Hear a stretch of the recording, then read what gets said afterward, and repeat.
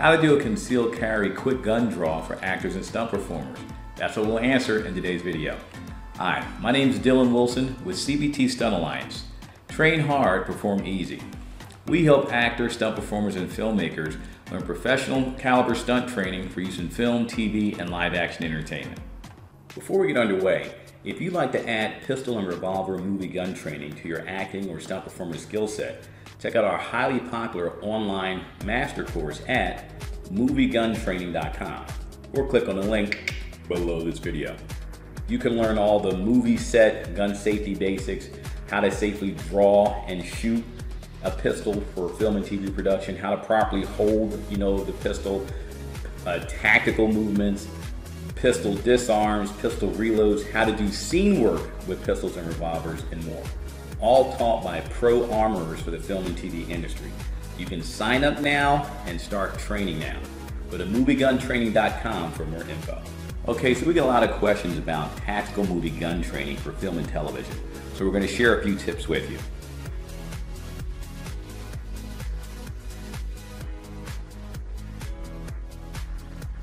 we figured we'd share with you a few cool tactical movie gun techniques that you can use for your reel. So you can have things that other actors and stunt performers don't have. Just know that for the most part, that it's best to keep moving while you're doing these techniques, like you're about to see in the next action movie clip. This helps to give your reel that wow factor.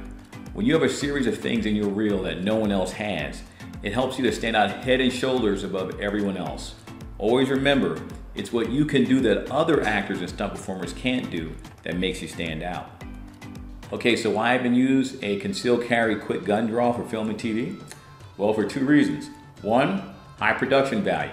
It definitely boosts production value, especially for any type of movie gun choreography. And two, character development.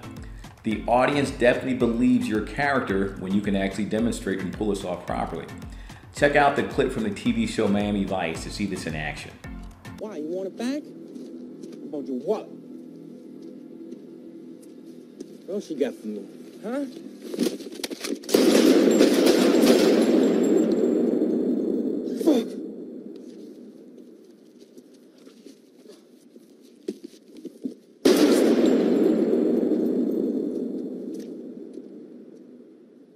Now, I'm actually an experienced stunt coordinator and armor for film and TV turned full time director. This is something I plan to do from the beginning of my career, even attending and graduating film school as a director. Along my journey, I noticed that being a stunt coordinator and armor made me a better director, and being a director made me a better stunt coordinator and armor. Now, how this benefits you is that I can share with you insights and experience from both sides of the camera, as well through all phases of production. Okay, so before we begin movie gun training, we always do a safety briefing. Now, this is different than the one that we do on set since you're at home and we're not actually issuing any prop guns to you. Yet with us, safety is always paramount. This will serve as your safety briefing. Again, it's different than the ones that we do on set since we're not issuing you any movie guns. Yet, since we wish to instill safe practices into you, we modified it for your benefit. So pick up your movie prop gun, keep your finger off the trigger, make sure it's on safe as well as unloaded. So finger here on the frame, unloaded. Same with this one. Finger here, unloaded, and it's unsafe. Now, as a reminder, never do any movie gun training with real firearms. Do not do dry fire. Make sure you invest in a, a good movie prop If you need to find one, watch our video on how to get a, a movie prop gun for cheap. The link is below this video. We're going to cover some prop gun safety rules that you can use at home. These are different from gun safety rules that you use on a live fire range. You can learn more about the differences with our highly popular video, Real Firearms Training versus Movie Gun Training. The link to it is below this video. So I wish for you to, to memorize the acronym DIFU or DIFU. The DI stands for direction. So we always want you always want to point the movie gun in a safe direction, and never point it at another person, even if it's a uh, you know airsoft or something like that. Doesn't matter. You always you always train the same way. So there are two directions that are you are clear to point the firearm in. One is straight down into the ground. So if you're up standing around, you're between scenes or something, you can take the pistol or the carbine and just let it hang by your side and point straight down to the ground. That's a safe direction. The second direction is whatever the armor determines to be downrange, which is safe. And for you, that'll be a wall. So you choose a wall in your house or your apartment. Make sure it's not a place that's highly trafficked where people can walk in front of you or something. It could even be aiming inside of a closet, right? So whatever, whatever place is good for you. For me, it's gonna be a 180 degree arc from this wall all the way out to camera to this wall. I won't be pointing back that way because sometimes I'll have to show you like this and then sometimes I'll show you like this. So then this 180 degree arc is my is downrange for me, yet I won't point it back that way. And this is how you have to be so you always are aware of where you're pointing your, your movie prop gun.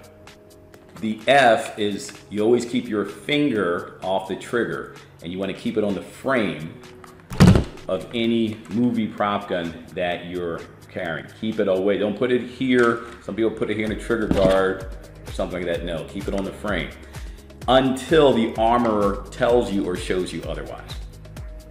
The U stands for unloaded. So keep it unloaded and you can always check and make sure it's unloaded once again until the armor tells or shows you otherwise. Okay, this concludes our safety briefing. Now that you've done that, go ahead and insert one magazine into your movie prop gun.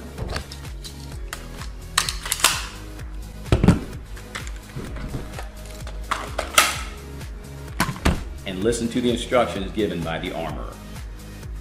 All right, so in this instructional, we're going to share with you the first movie gun draw from our master course, and we call it Concealed Carry Draw 1 uh, Pullover Shirt. And this one starts with the pistol being staged at the hip, or even what some people refer to as the appendix area, which is right here. The mechanics are still the same. The different people do this differently, and everyone has their reasons for doing uh, what they're doing. The stuff that we do we is from elite tactical, so it's how elite soldiers, SWAT teams, things uh, are trained to do things. So some of the things that civilians do tend to be a, a bit different. Uh, yet, are just know that whatever you do, practice so that you're smooth with it. So there is a a draw count or a number of steps to uh, presenting a pistol, and different people have different numbers. The uh, actual draw count that our stunt team uses a five-step draw count because there are two uh, CQB positions. Yet the one that we teach is a three-step draw count, which has one CQB position. You'll understand what this means in, in a moment. So what we're going to do is we're going to take this step by step. We'll do it first on the, the right side, and then we'll do it on the left side. And so the first thing you wish to do is take your, your uh, movie prop pistol and you're going to insert it right here in your waistband at the hip. See that? Boom. Now you're going to take your shirt and just pull it over and hang it like that. That's why we call it concealed carry draw one pullover shirt because it's a pullover shirt. If it's a button-up shirt or something or jacket, it's a different way that you, you uh, present it. So we're just going to say the, the trigger word we'll say is is uh, threat. So when we say threat, that'll be the cue to actually start.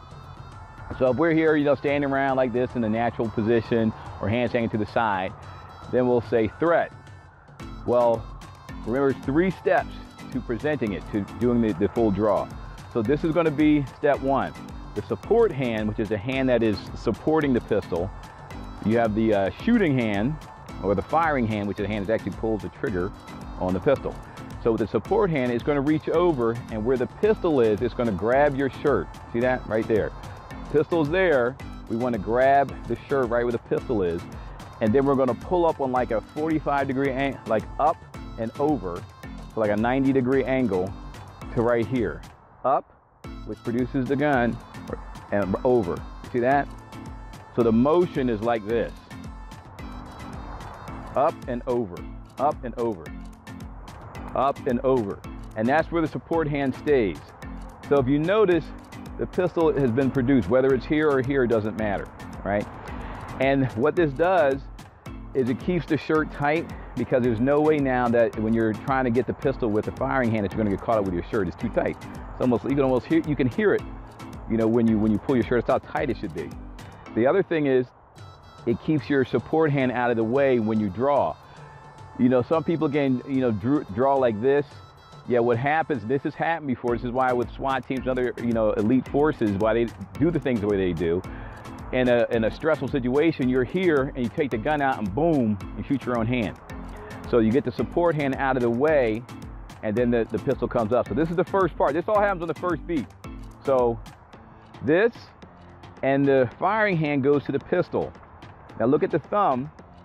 The thumb is gonna go right behind the pistol and seat and get a good grip. The Y, this portion here, is gonna go right here on the tang of the pistol. And the pointer finger, the trigger finger, is gonna go right here on the side of it. It, it stays on the frame where the frame would be if it's in your, even if it's in your clothes. See, the trigger would be down here. I don't wanna be there. I wanna train so my finger's right there where the frame would be. This is all one.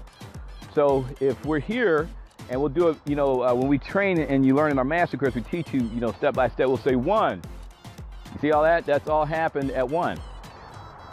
Once again, one. And that's it. So you see the thumb is behind the pistol. Got a good one-handed pistol grip is what essentially happens.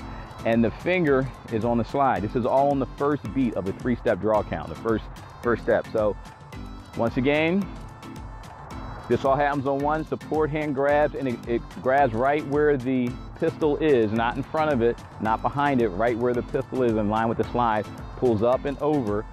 The firing hand, the thumb goes in and seats behind the pistol so that this, the Y portion of your hand seats on the tang. These fingers grip the hand grip of the, of the handgun and the trigger finger lays on the, on the slide. And you're still here. You have not cleared, you have not pulled or produced the, uh, cleared your, your pants with the pistol. You're just right here, right? Now, uh, the second step is from this position, we're gonna pull the pistol up and the elbow drops down, just like this, and you see the finger is still on the slide. This is actually a CQB firing position, right? It's, we don't stop here, you just know this is how, where, where it goes. So if you notice once again, from this position, we're here, the elbow comes in, the finger's right there, and you notice we're already on target. So even if we had to draw and someone is like very close to us, we're already right there on target, you know, with the CQB position. And it gives us uh, full control of the pistol, even if they try to grab it or take it from us. So that's step two. We're still in this position with step two. Step three is now the pistol slides forward, the support hand comes in, and we're going to uh, take on the uh, two-hand grip that we that we uh, taught you in a previous video. If you don't know how to do the two-handed grip, uh, watch our previous video on that. And we go right to the two-handed grip. We go out and we fire twice, and you say bang bang. Right? So that is the the uh, concealed carry draw one pullover shirt. I'm going to do that a few more times with this, the account. One, two, three, four. And you can follow along. And we always say it first, then we do it. Conceal carry, draw one, pull over shirt. One, two, three, bang, bang. And then we go and we reholster. All right, do this from the side so you can see it. One. See that? That's all on one. Two three. Bang, bang.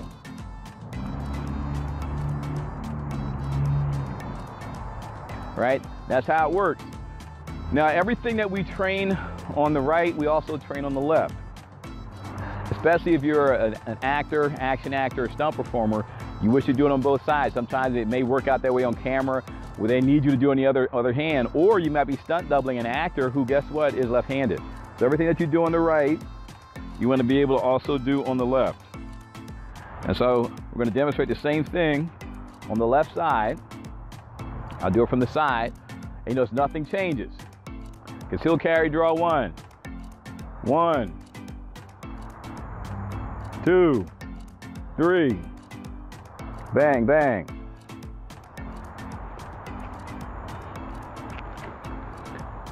Now I'll do it just saying the word threat. This is how you wish to train. when you're doing it, you say one, two, three, so you can perfect your form every step of the way. Once you have it perfected, then you just can go on the word threat. So don't rush this. You know, they may actually slow this down, shoot it at 60 FPS or something, or 120 FPS to slow it down because they like how you look when you're when you're doing the draw. So you want to be picture perfect with, with each each one. So I'll do it again a bit slowly, yet I'll do it smoothly without counting. I'll just say the word threat when I'm ready. Threat. Bang, bang.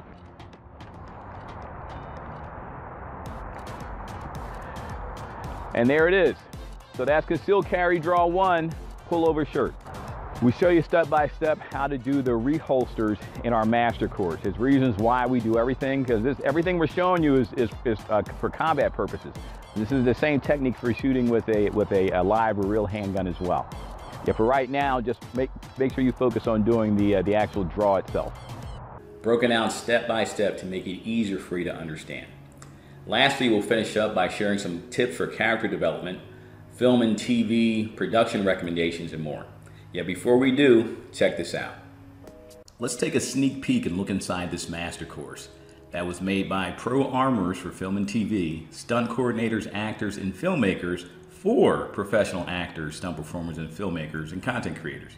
By the way, if you're a veteran or experienced with firearms, you're going to learn how to convert your skills into movies and TV. So you can see here, first of all, we designed our platform to be intuitive and easy to use. The moment you log into it with your on your computer or your phone, you pretty much understand exactly what's going on and you know how to navigate it right away. Now, each of our master courses starts off with an introduction, so you get to meet your instructors as well as a safety briefing. Let's go ahead and take a quick look at these at this now. Those who can't teach. And, you see the instructors go over their you know, the qualifications, their background, that kind of thing. And also, you get a cheat sheet which we'll cover in a moment. This is a handout that accompanies uh, the course, helps you to lock in what you're learning, plus our private online social community, which we'll cover a little bit later on. You also get our email address and contact information to be able to contact us with any questions that you may have. Now, as you can see, our innovative master course platform shows you if you finished the instructional or not, or how much of it you did learn. You know, so if you notice, each one is broken down into units. Is what each of these are, and each of these units are broken down into classes or video instructionals. And it makes it easier to, to group everything together. Each of the instructionals are videos and they're about 10 minutes long. There are a few that might be a little bit longer because they have to be, but for the most part, they're about 10 minutes long. We like to keep it bite sized and it makes it easier and more effective for you to learn. One of the other great things about the platform is if you're studying and you're you know watching or learning some of the videos, and say you, you know you're watching it today and you get busy and you can't watch it again for like a week, you know, in a week's time, you're not gonna remember what you learned last. You gotta look through all these videos and figure out where you left off. No, our platform design, it tells you which instructionals, which classes you completed, right? And then it tells you, you know, how much, what percentage of the unit you actually completed. So this is 50% complete, so two classes were done, and there's two left. So in a week's time, you know to start right here. So with this one, these are pro screen tips for pistol and revolver. As tactical reloads, speed reloads, a lot of the classes don't teach you how to do this because there's not enough time to teach someone to do all this stuff, you know, in a two or three hour session. Take a look at uh, cinematic pistol reloads, looking at the tactical reload. Let's go and take a look at this one now, see how this looks. To his hand and insert the new magazine, puts the old magazine into his pocket, and resumes firing. Bang, bang, bang.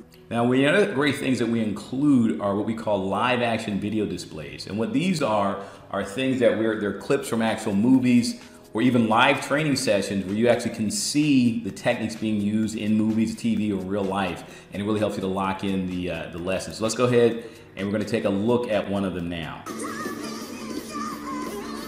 And you see everything that you're learning, you see how it actually is used in a, in a movie.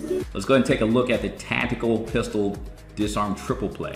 These are pistol disarms, some of the most famous pistol disarms that have been used in film and TV history. I'm gonna come here, turn it around, and fire. Bang, bang. Okay? Again? Again, we're leveraging the off-body aiming technique you know, when we're doing that. And whenever we train, we train with solid rubbers. Here's the same kind of pistol disarms from the movie John Wick. We have these in here, so you actually can take a look at it. So let's take a look at one now and see how it actually plays out.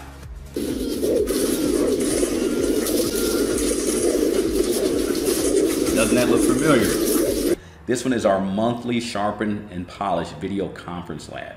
Each month we do this, and it's designed to actually help you with your career. Try our Pistol and Revolver Master Course for 48 hours risk-free. After reviewing the Master Course, if you don't like what you see and it doesn't work for you, we'll refund every penny. Who else lets you go through their movie gun training and then if you're not happy, gives you a complete refund? Bottom line, we're passionate about making our customers happy and keeping them that way. So well worth the investment if you're serious about adding rifle, carbine, and shotgun movie gun training to your current acting or stunt performer skill set. And understand that most stunt performers and actors don't invest in movie gun training. A small percentage invest in real gun tactical training and learn the most basic of skills. Also, local movie gun training classes are very rare and virtually never teach this type of stuff. They focus more on you walking around looking tactical and none of the other skills. So you'll have a significant advantage when auditioning and performing. Now we'll finish up by sharing some tips for character development, film and TV production recommendations, and more. All right, a few tips. This draw is good for playing characters that are like federal agents, like FBI agents, CIA, uh, detectives, you know, police detectives, uh, spies, elite soldiers, and even assassins like you saw in the clip earlier. It is not good for playing roles like police officers or SWAT because they usually wear a holster, you know, an external holster. The same with soldiers. They usually have an external holster, not something where they're doing a concealed carry draw. And one last tip, you want to practice doing this concealed carry draw with the wardrobe that you're going to be wearing in the scene or a close facsimile. This way you want to make sure that you're smooth with it so that when you perform it, you'll look authentic and organic, just like the assassin that you saw in the clip earlier. Okay, so make sure you like this video and smash that subscribe button so you don't miss out on the next movie prop gun training video. Also, make sure you sign up for our Pro Stunt Tips email newsletter to get professional movie gun prop training tips in your inbox. Lastly, if you'd like more information on our highly popular online pistol and revolver master course, go to movieguntraining.com. Prepare to have your mind blown. Again, my name is Dillon Wilson with CBT Stunt Alliance. Train hard, perform easy. Don't miss our next video where we share with you another movie prop gun training tip. See you next video.